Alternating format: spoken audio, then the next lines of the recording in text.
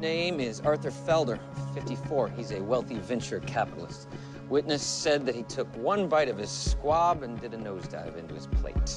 Okay, so this was not an allergic reaction. There's no sign of anaphylaxis, but his enlarged pupils and excessive saliva suggest a foreign substance.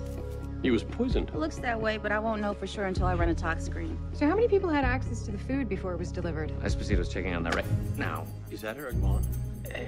Yeah, he was part of the victim's dinner party.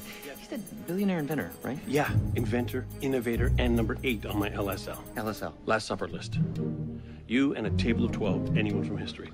What is mine, you ask? I'm glad you did. In order, it is Lincoln, Einstein, Ian Fleming, John Lennon, Joan of Arc, Sinatra, and you, of course. Too late, Castle.